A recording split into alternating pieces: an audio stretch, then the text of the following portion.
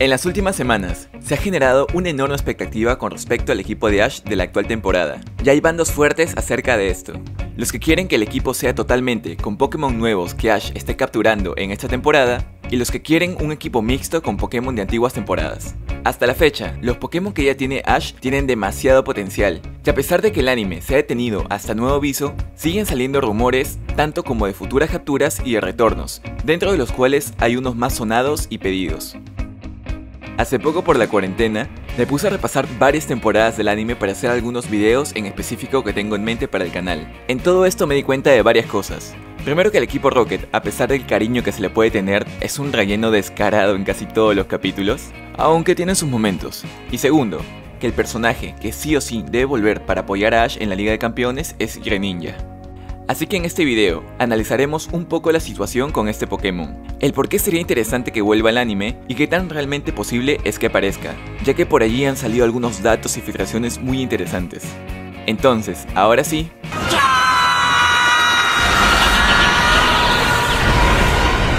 ¡Seré Gogeta!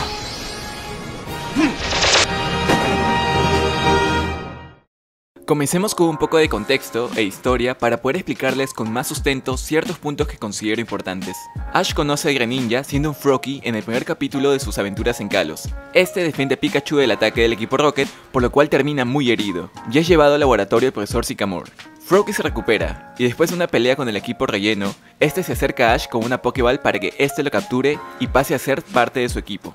Ok, con estos dos capítulos te plantean cosas interesantes de la personalidad de este Pokémon, que se mantienen a lo largo de las temporadas ubicadas en la región Kalos. En primer lugar, Froakie tiene un espíritu de batalla único, y se siente atraído a Ash al verlo batallar con Clemon. Y segundo, que es él quien elige a Ash para que sea su entrenador. Que esto suceda después de que el profesor dijera que este había tenido problemas con algunos entrenadores previos con los que no conectaba desde un inicio, dice mucho de este lazo que se iba a ir formando entre ellos dos. Luego, a lo largo de la temporada, lo vemos en diferentes facetas en las batallas, siempre con ganas de dar lo mejor de sí, con ideas muy locas y geniales para poder ganar.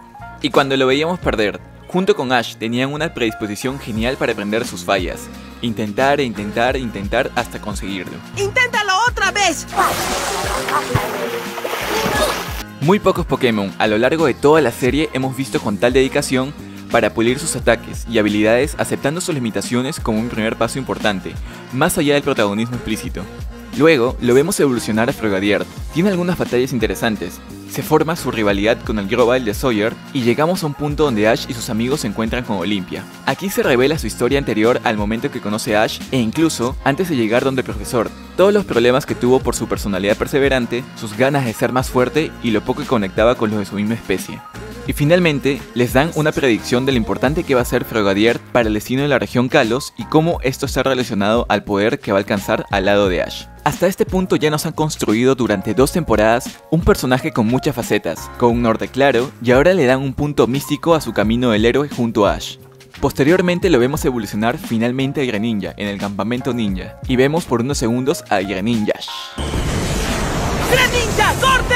Y luego nos dejan la pelota dando botes sobre que hay algo misterioso en ello. ¿El Greninja de Ash tomó una apariencia distinta? Sí, fue solo por un instante. Posteriormente, a lo largo de la temporada, vemos cómo poco a poco Ash y Greninja investigan este misterio e intentan sincronizarse para poder llegar a este estado que pocas veces alcanzan en batalla. Luego consiguen dominarlo, pero esto deja a Ash muy agotado.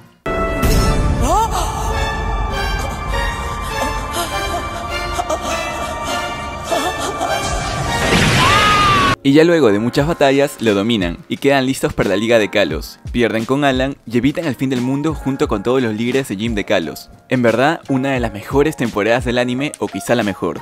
Y quizá toque eso más a profundidad más adelante. Para llegar a este genial clímax tuvieron que pasar tres temporadas en los cuales vimos a este dueto trabajar juntos, conseguir pequeñas victorias, ante las caídas esforzarse más y más hasta ganar. Hasta este punto, están más o menos al nivel del arco argumental que se hizo con Charizard en su momento. Pero lo que hace que consiga superar a esto es que con Greninja se toman su tiempo para ver las facetas del personaje. Hubo capítulos enteros seguidos en los cuales se dedicaban a ver su evolución, cosa que ni con el mismo Pikachu ha pasado. Así también, una epicidad en la cual lo que alcance con Ash marcará el destino de toda la región de Kalos, y obviamente todo este misterio alrededor de esta particular faceta del personaje. Con todo esto, sumado a pequeñas filtraciones de promocionales de la actual temporada, donde se ve su figura junto a Pokémon del actual equipo de Ash, yo siento que él es el llamado a volver. Tiene un arco argumental tan genial que al no haber ganado la Liga de Kalos con Ash en su momento, su merecida revancha será ganarle a Lionel en la final de la Liga de Campeones. Aparte se acaba de confirmar que Ash volverá a Kalos para enfrentar a Corina y su Lucario, y por allí puede que lo busque. ¿Qué opinan ustedes? Si tuvieran que elegir tan solo a un Pokémon para volver en esta temporada, ¿a quién sería? Lo estaré leyendo en los comentarios para debatir un poco. Así también quiero enviar saludos a Alexis Castillo, Edu101, Miguel Pereira y Mari Roserate. Yo soy Yoyo y nos vemos en unos días.